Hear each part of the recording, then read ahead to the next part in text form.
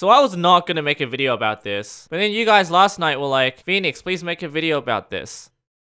So I'm gonna make a video about this. So here is the changelog for 120.3 pre-release 3. I'm gonna scroll down a little bit and you guys can see that there is a whole slew of fixes. But look at the second one. MC266060. The word ignored is misspelled as ingord within this translation string. Now if you don't know what this is about, this is what it's about. It's related to the slash tick command, which is one of the newer commands, which might be one of my favorite features in the upcoming update. It allows you to modify the speed of the game's operations, which effectively means Steve can control time. It might be easier if I create a world. By the way, the 2-pixel glow-in-the-dark Firefly plush has already been fully funded within 24 hours again. If you want one, the link is in the description. Here's the world.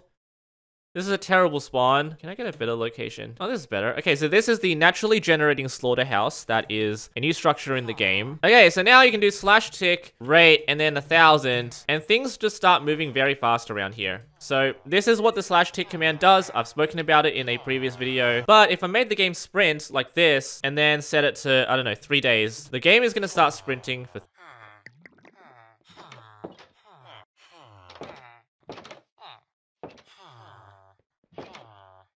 I wasn't gonna do anything to them. the translation string in question can be located when you do something like this, slash tick query, which queries the tick rate.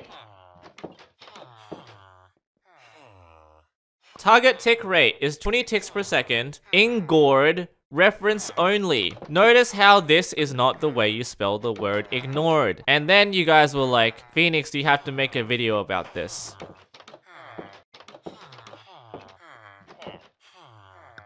I'm gonna murder this guy. But I didn't know how to do it until I realized this.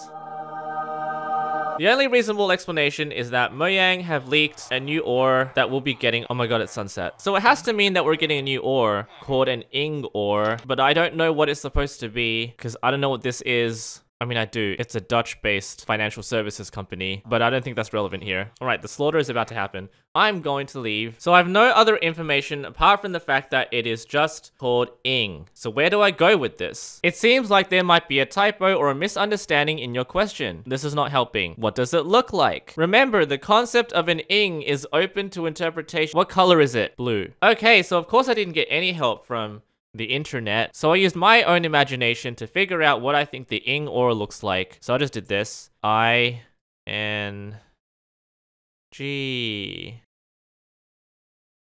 ing. What does ing look like? Blue.